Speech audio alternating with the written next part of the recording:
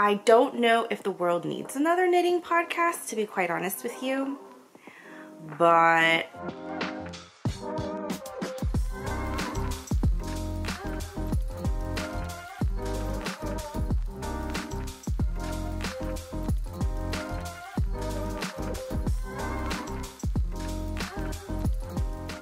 Oh man, I'm awful. I'm really bad at this.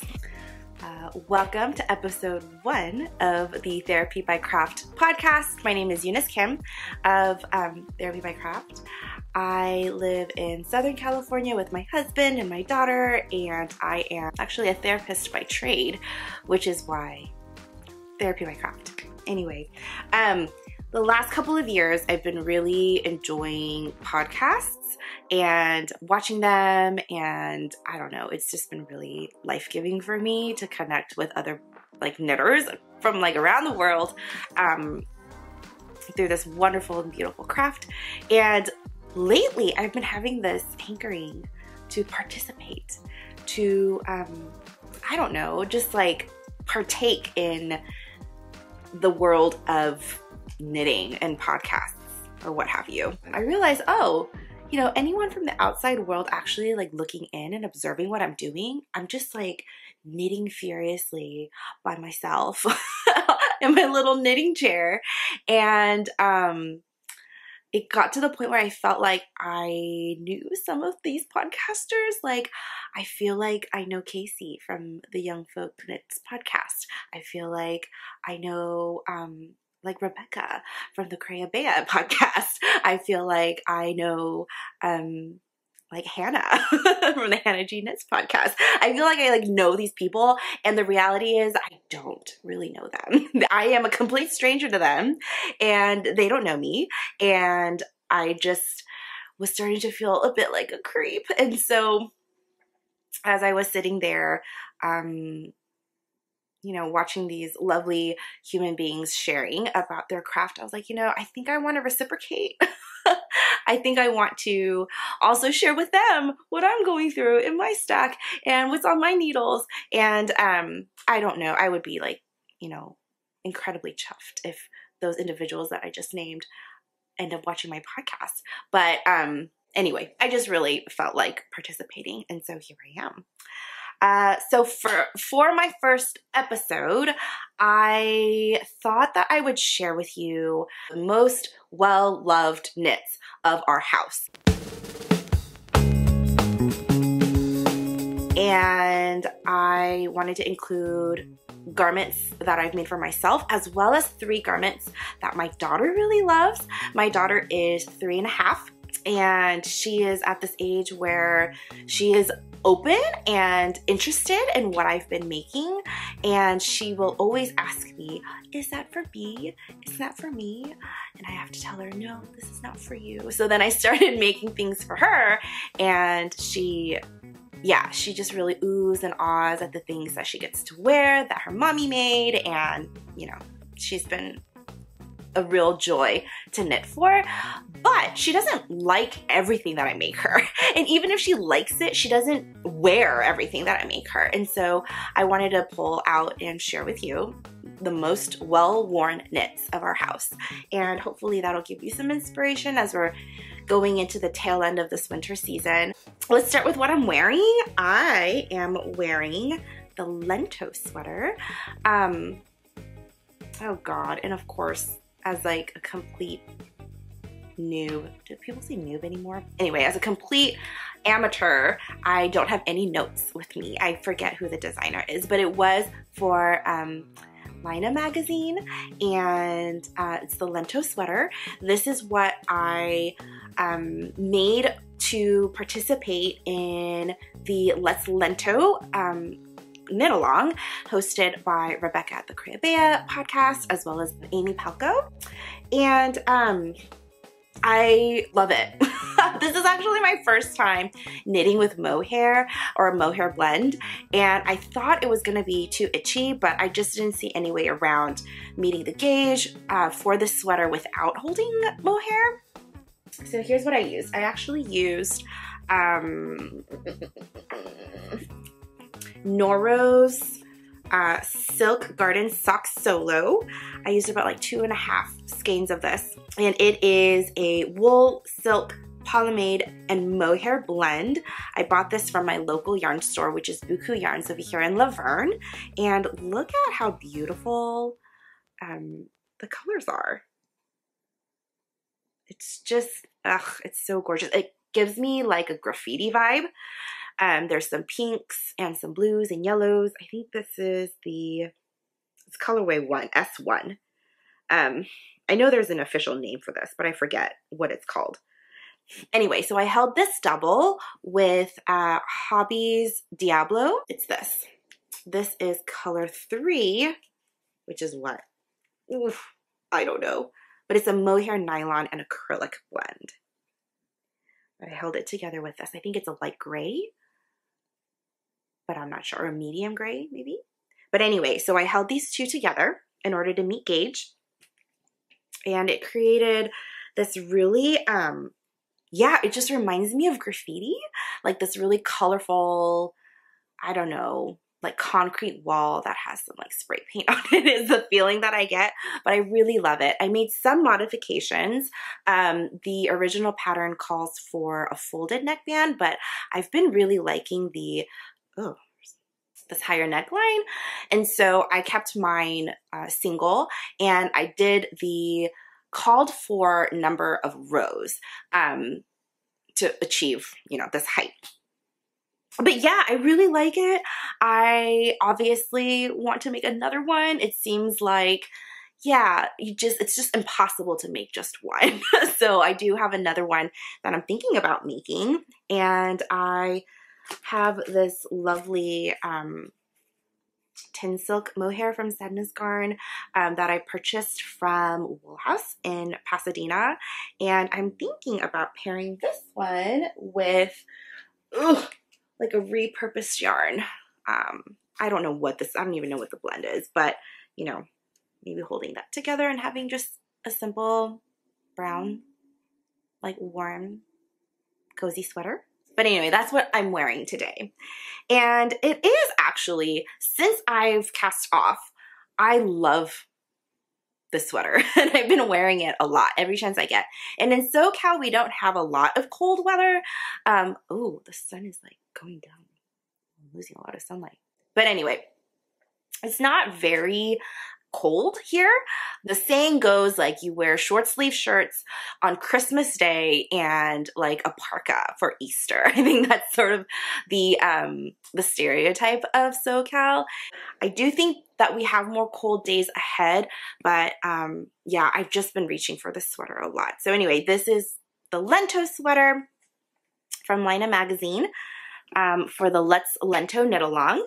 Next is this beauty. I don't know if you can see it. But this is my Gartrell Crew sweater um, by Tanis Fiber Arts. These like stripes were just, I don't know, it just really like called to me. this was maybe one of my first garments that I made. And all of this is actually knit flat and seamed together, which is how I'm able to have um, like different stripes that are not like continuous, like it doesn't follow the color um, because it's all paneled and it's knit from the bottom up. And again, it's like knit in pieces and you seam it together with a mattress stitch. And I thought I was gonna hate it. I really honestly thought, oh no, what have I gotten myself into? but it actually was a great process and pretty enjoyable. It got me really good at knitting stockinette flat. It got me really good at mattress stitching. And because I knew that other like top down raglans or even bottom up raglans required this like knitting in the round, you can't achieve this look of having different colors for each panel. I decided to have a different um, order of colors for each panel and only have the same like rounded thing for the cuffs and the hem. Yeah, and I love it. I wear this a lot. Um, yeah, it gets so much wear. And it's kind of like my Gap sweater. I actually wore this yesterday to work. I used um, Green Letter Days Toyland Blanket Kit. Um, Bonnie from the Green Letter Day is amazing at curating different colors together. And I each time she releases a new blanket kit, I'm blown away at her creativity. she mostly um, dyes tonals, which I love. I really like working with tonal yarn.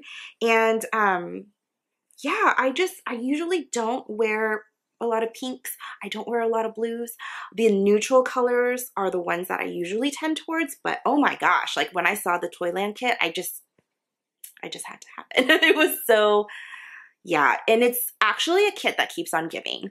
Um, she curates the colors for blankets, um, but obviously a garment doesn't use as much yarn um, as a blanket would. And so this kit has produced for me so many things. I have this sweater, I have um, a coloring book raglan um, from Amy Shore Makes, and I also have like a cowl that I made, and I still have yarn left over. so I'm still thinking about how to use the last bits of this colorway. It's just, it's just really gorgeous. I really love it a lot.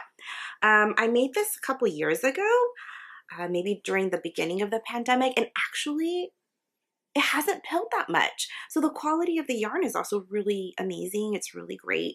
Um, it was a joy to work with and it's lasting me. Yeah, it's lasted like a couple years. Anyway, okay, moving on. This next sweater, I actually did not make it. My friend um, Samantha from A Needle and Yarn Co. Who, oh, who she actually is the one who gifted this yarn to me, the Diablo that's in here. So thanks, Sam. She also made me this. Ah, isn't it beautiful? This is the zipper sweater by Petite Knit. And actually, Sam is the one who introduced me to um, the Petite Knit or Petite Knit. She's just a really beautiful knitter. She makes a lot of classic gender neutral garments that are great for everyday wear. She's such a generous knitter too. Like she gifts a lot of her knits. And even when I commissioned her to make this, because I was super intimidated by um, this pattern, but I really, really wanted one. So when I commissioned her, I was totally ready to pay her what she is owed to make this for me. But she told me that, you know, uh, the designer behind the Petite Knit does not allow for uh, knitters to sell their finished garments. And so she was like, you know, I'll just make it for you um, for the cost of the yarn. And if you um, want to gift like a gift card to Starbucks or something, then I'll take that, but don't even worry about paying me. And I was like, what? It was so, I don't know, it was so generous of her. But anyway, this is the zipper sweater by Petite Knit and it's knit from uh, Cascade 220. This is a non-superwash yarn. Um, and the colorway is, oh gosh, do I have it? Juniper something? Oh gosh, I'm a terrible podcaster. I will have to look up the colorway for this yarn, but it is, gosh, it has some like orangey, red, yellow heathering in there. Ugh, and it's just beautiful. I love it a lot. I um I'm a huge fan of autumnal colors, like the darker muted, it's like it's muted, but it's also like a darker color of um, like orange and yellow and green. Like it's just, this is just my jam. And so anyway, I, I love this and I, I, and I reach for it all the time. Um, ugh, it's so squishy and warm and yes, anyway. So thank you, Sam. Again, this is so well worn and the yarn is actually doing pretty well. There is some pilling, um, but it's nothing that's gonna like prevent me from wearing it. Yeah, it's it's not shabby. It's not too bad. Next up is my Ali sweater. Ah. Um, and this is from Sarah Knits, I think. Oh my gosh, I'm terrible, but I will have you know, the information available for you, obviously. But this one is, a, this one was a test knit. And oh my gosh, it's one of those sweaters that um, it's just like oversized but not too long. I've made it, uh, it's not cropped, but I made it to sit like on my hips and um, it's just a really comfortable length for me. Um, but it's also with enough positive ease that I honest, I just so comfortable. I feel like I'm wearing like a blanket. It's so comfortable. And Sarah did an amazing job. I think my favorite thing about this sweater is the neckline. It's a folded neckline. It fits in such a way that um, it covers everything underneath. So this is a sweater I don't have to worry about my like t-shirt peeking through. Like that doesn't happen. This year I'm thinking about making like Taylor from oh, has this like Frankenstein sweater or this Franken sweater that she's working on where she's piecing together her favorite parts of other um, sweaters and making one sweater to encompass those things. And if I were to make a Franken sweater, this neckline, this is the one that I would use. It's just, yeah, it's just perfect. I love it so much. I will say that the yoke depth is a little too deep for me, but it doesn't stop me from wearing this. I wear this all the time. Um, I really love this detailing here with the contrast color. Um, I have worn this out and have gotten compliments like at the drive through. I'm like in the drive through getting my food or getting my drink. And the person at the window is like, oh my gosh, I love your sweater. And I'm like, thank you so much. I made it. It's one of those moments. I know you know what I'm talking about. It's wonderful. Um, yarn. I made this with Berroco Vintage DK, which is a wool and acrylic blend. And then my contrast color here is a DK um, yarn from Buku Yarns, which again is my local yarn store. Amanda dyed this amazing, like, blue, pink, like like variegated yarn. It's just so beautiful. It has some speckles in it as well. And it just went beautifully um, with this brown color, I think. Yeah. Yeah, so I reach for this a lot. I wear this all the time. Oh, I also want to mention, look at how Sarah did the short row shaping in the back. Like, oh my gosh, it's beautiful. And it's so genius a lot of times when you make a sweater, the short row shaping is just one of those things that you need to do to shape like a sweater um, so that it fits well. It kind of raises the back a little bit so that it sits, um, so that basically the collar's not going like this, right? But Sarah actually utilized that feature like, to incorporate color work. And I'm like, man, when I saw that, my heart sang.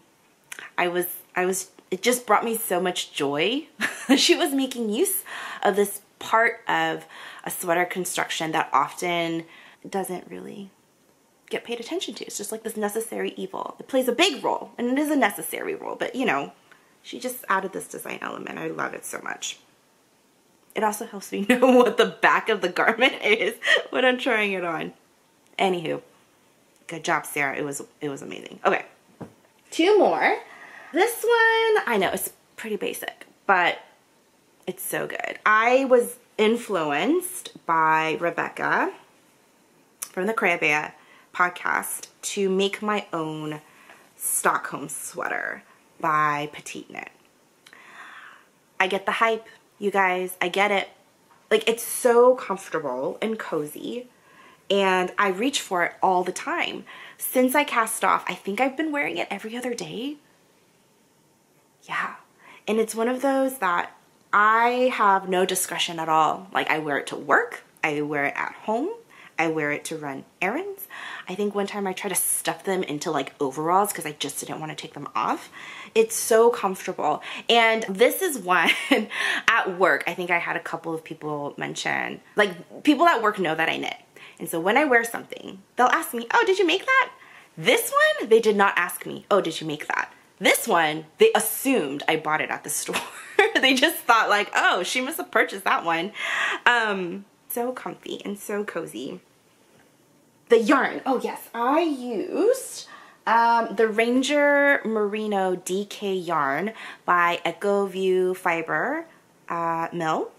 And it's unfortunately discontinued. Um, they went out of business and during their closing sale, I just purchased a bunch because um, their colors were so beautiful and I'm, so, I'm, I'm so sad each time that I use this and I have and I'm currently um, working with another colorway from them but whenever I use it it just makes me so sad. It makes my heart ache that they're no longer in business. I wish I had known about them sooner. I wish I could have supported them sooner. I don't know. It just it's it's a wonderful yarn. Um, I've been wearing it a lot and so far it hasn't pilled mm, a little bit but it's it's not too noticeable the the little pilling. Um, the colors are beautiful. It doesn't, like I have no fatigue on my wrists when I'm knitting with this yarn. And really, yeah, I just wish they were around so that I can support them more. So yes, if you have a small yarn business that you really like, support them. Ah, that's my lesson. Or that's, I guess, hopefully everybody's lesson with this yarn. It's just so good. The colorway is Chickadee. No, it's not. It's Kinglet. And then my last garment is this one. It's actually a cardigan. This was a test knit that I did for Ozetta. Um, I made this with Simply Wool and worsted weight in the colorway Winnie. And yeah, I I wear this one all the time. It's a really great like work cardigan. I put it on over, it's like slightly cropped, not totally, but just a little bit. Uh, so I can wear it over my long like t-shirt dresses to work, slacks. It's a nice neutral color um, that goes well with pretty much anything I would wear for work. And yeah, there is some pilling.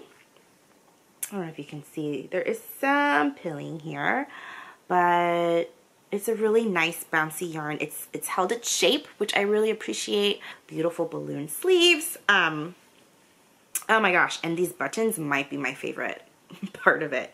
It's these like shelled, what is this? I don't know, like mother of pearl maybe? Um, buttons that I picked up from Buku Yarns. The one thing that I don't like about this cardigan, but it's really my own fault really, is that I bound off like the Italian bind off. I don't know if you can see, but I did it too tight. this was when I was just starting to, I guess, um, like use it more. And I don't know why I thought it'd be a good idea to like pull that thing so hard. Because you know, um, if you've ever done the Italian bind off before it's sewn bind off, the recommended like tail to leave is about three or four times um, the length that you need to bind off. And so I would measure out about four times or three times the length of the area that I need to bind off. And I would always have so much left over. And I'm like, why do they recommend this? As it turns out, it's because I was doing it too tight. Um, ugh. So that's the one thing about this cardigan that maybe I'll go back and fix because I love the cardigan itself so much, but yeah, I just wish that, yeah, I just wish that I hadn't made that mistake of binding off too tightly. But otherwise, those are my um, five and, and, now six um, most reached for garments of this past year, and I, or actually of all time, really. I haven't been um, knitting garments for very long, but ugh, those get worn all the time. Okay, now moving on to my child and the knits that she wears a lot. Um, okay, the first is this. It's so cute. It's the Olive Vest, Olive's Vest by Knitting for Olive. I made this in Purl Soho's Good Wool uh, in the color Olive Oil and the yarn choice was 100% influenced by Hannah from Hanna G Knits. And if you don't follow her, go do that now. Um, but if you do follow Hannah, you know that she has a very open love affair with Purl Soho's Good Wool, um, or Purl Soho yarn in general, but Good Wool in particular. Like she, yeah, she she speaks so highly of this yarn that I had to get some and she ain't wrong, you guys. She ain't wrong. This is a great yarn. It's super soft. She wears this so much. Everybody at her daycare also knows. Um, like, oh, Sam, I love your vest. And Sam will say, oh, my mama made it for me. And ugh, it brings such joy to my heart. This has some pilling, I will say. Um, I don't know if you can see this. Ooh, you can see any of the pills here. Um, but honestly, I don't even care. she runs around it. I think she naps in it. And so the days where she wears this to daycare, she's wearing it all day. Oh, the one modification I made is I made it longer. Uh, when I initially made it, I think the the um, hem ended here, like the length of it ended here, right where my new hem starts. But I noticed that it's wide enough that I think she can wear it for another couple seasons, but the length was like right on the money and I wanted her to be able to have more wear out of it. And so everything else is the same. Everything is knit to, I think, the 4T size or the 2, 3, ugh, I don't know. Ugh, I'll be more specific next time. Um, but I just lengthened it, lengthened it by maybe two inches or so, an inch and a half. And now it's perfect. Secondly, is this, ah, when Petite Knit came out with the zipper sweater um, for for the children's size. I, I knew I had to make it. Um, as you saw before, I love the one that Sam made for me. Oh, incidentally, Sam is also the name of my daughter. So Sam, my friend, and then Sam, my daughter. Uh, but yeah, when Sam made um, the zipper sweater for me and seeing how much wear I got out of it, there was a day Sam, my daughter, looked at me and was like, oh, I wish I had one. I wish I had a sweater like that, mom. Yeah, I can do that for you. I can make that for you.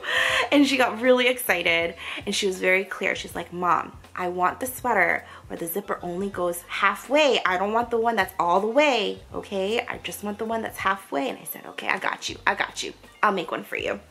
So that day I of course went and purchased the petite knit pattern and looked and rummaged through my stash and uh, I just, and she wears this a lot. I think this was the first thing that I've made that my husband saw on my daughter and pulled out his phone to take photos. He was like, I need to brag about this. This is by far my favorite thing that you've made. and I need to brag about it. And so it was it was really sweet actually. Like he took some pictures of Sam on his phone and he sent them to his family and was like, look at what Eunice made. And it was just really sweet. It was a very proud moment for me. Anyway, um, yeah, this is made with Oof, what did I hold double? Ah, I, I, I, I rummaged through my stash. It's a Zen Yarn Garden um, sock yarn. Uh, I know that it's like superwash merino. I needed it to be superwash so I could throw it into the washing machine without worrying about it. Uh, oh, what is the colorway? I forget the name, but I love it. It's like speckled. It has these purple and I don't know. It's beautiful. I didn't even alternate the skeins. I just one to the next one and there was no striping. You can't even tell. Like, I think it was just so well made and well dyed. Uh, I held that double with like a loops and threads something.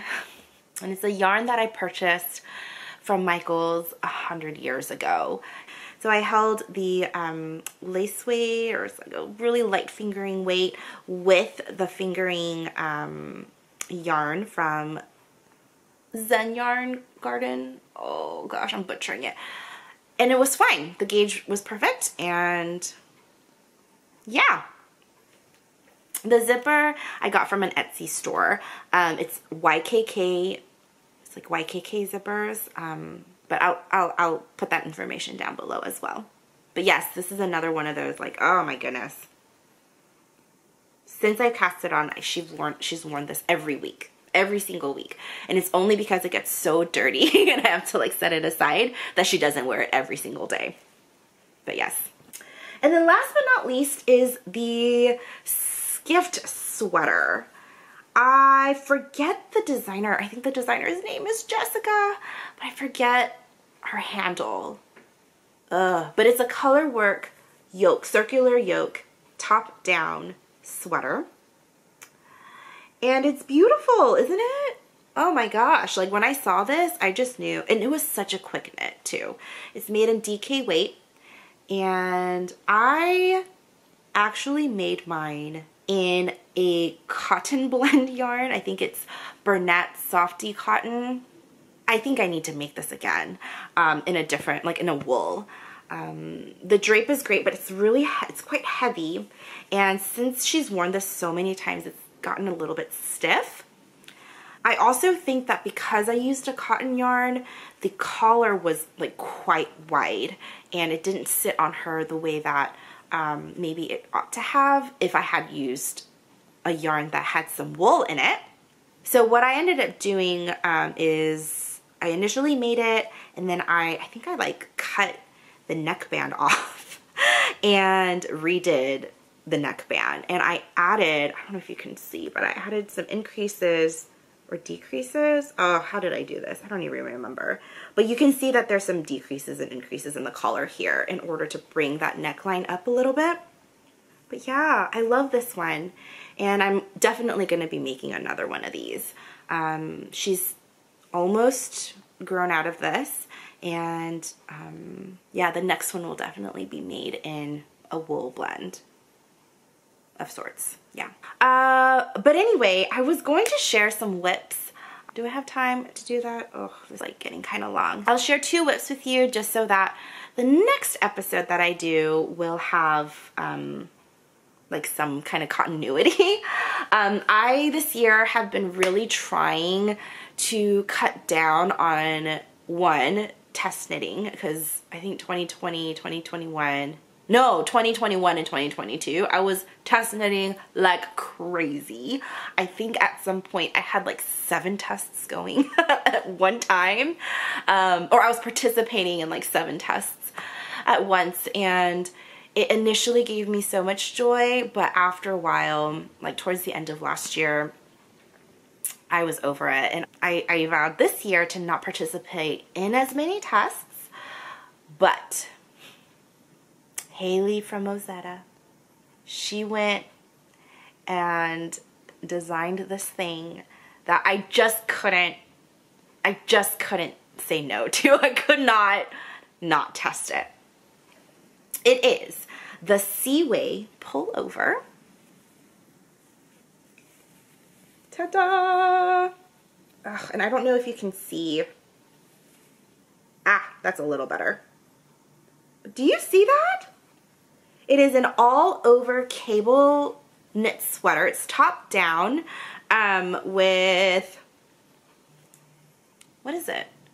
Drop shoulder. Huh, that's what it is. Yes, with drop shoulder construction with these amazingly like thick hems, ribbed hems.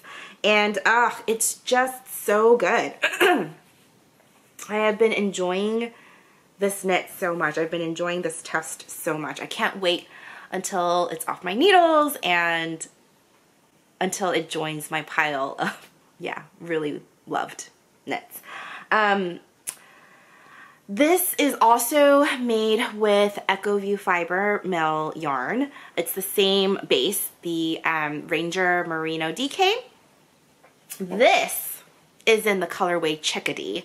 Um, I think I got confused earlier, but it is a three ply um, non-superwash um, merino yarn and it's it has, I don't know if you can tell, but it actually has some blue in here. Maybe, maybe you can't really tell, but it's slightly variegated. It's heathered and um, yeah, like slightly variegated. So it almost looks like stone washed. I don't know, but it's gorgeous. There's just enough variegation to have some interest, right, for it to catch your eye, but not so much that it loses its tonal effect. Like it's definitely um, not a variegated yarn. Um, but yeah, just again, sadness for the fact that they're not, you know, around anymore. But anywho, I am very close to finishing. I'm at just this Like I have a couple of repeats of the cables to go before I do a nice chunky ribbed bottom hem and yeah, I'll share more about sizing and my decision for how I ended up doing this size instead of the, the my usual size, maybe in a later episode. Um, also, I probably will have to go back and do the neckline again.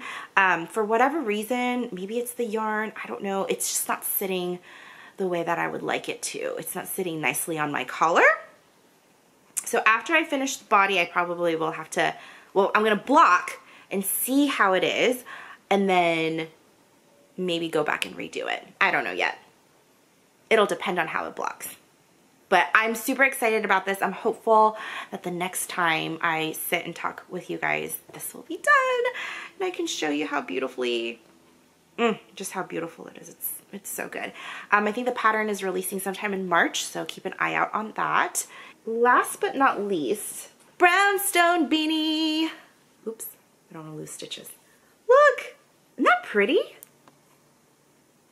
Ha ha ha. So this is the brownstone beanie. The designer's name is Tori Yu. She released this um, beanie pattern recently and it just looked, I don't know, it just seemed like it would be a really um, like well reached for addition to my wardrobe. I don't have a lot of hats. I don't have a lot of beanies. I had one crochet beanie that I've lost I don't know where it is. And now that the weather is a little bit colder, I, I found myself really in need of a beanie. Um, and so, yeah, I am using this beautiful, like variegated slash speckled colorway from LL Yarn Co. Ah, ball band. LL Yarn Co. in um, their LL Sock uh, base.